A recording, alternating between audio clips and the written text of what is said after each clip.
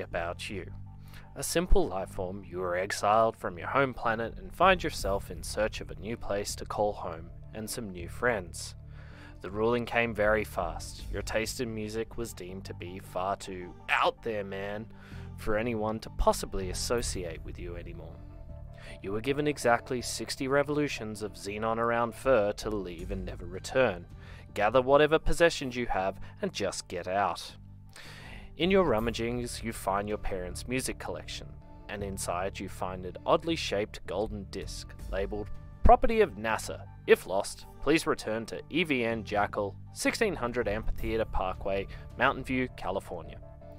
The music on the disc was uncovered a while back and was not very pleasant or interesting to listen to. There was this weird language that said something about peace, love, and rock and roll. Also, we're having a really cool party tonight. So, for whoever's out there, bring a friend and come along. Coordinates enclosed. On the back, the words draft, do not distribute, or load onto probe were written in big red letters. You found this very reassuring. That could mean anything, however. With time slipping away fast, you race aboard the nearest orbital spaceship, but you've never driven one before. What next, genius? Well done! The console is now on, and it's asking for coordinates. You beat heavily on the console, but it yields very little results.